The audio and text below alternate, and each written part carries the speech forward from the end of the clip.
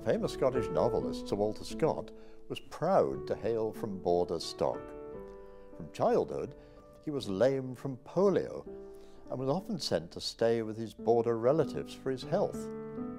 His grandfather Robert lived at Sandyknowe, a farmhouse below Smailholm Tower, six miles from Kelso.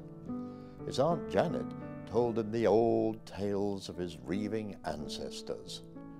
While staying with his uncle at Rosebank in Kelso when Scott was about 16, he fell in love for the first time. The young girl was called Jessie, and he began writing her letters and poems.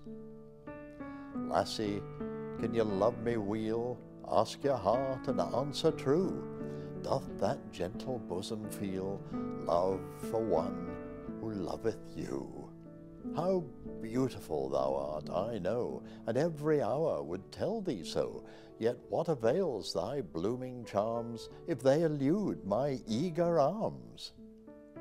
Sadly, it seems Jessie wasn't that keen, and young Scott was distraught.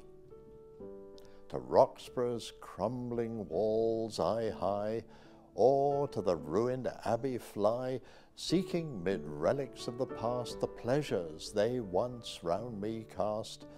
But monuments of days of yore I find can interest me no more. The more I seek, the more I see, the more I long to be with thee. But then she must have relented a little and allowed at least an embrace. Scott writes, But when I first became so blessed, to clasp thee fondly to my breast and my deep love express, I fancied in thy glowing charms I held all heaven within my arms, its bliss in thy caress. But the ardour didn't last, and at some point Jessie must have ended the friendship. A sad Scott wrote, For as her love was quickly got, so it was quickly gone. No more I'll bask in flames so hot, but coldly dwell alone. Not one to give up, he wrote to her again when he was a law student in Edinburgh, and she was there visiting a sick aunt. Come, Jessie, I impatient grow, come hither, quick, I pray.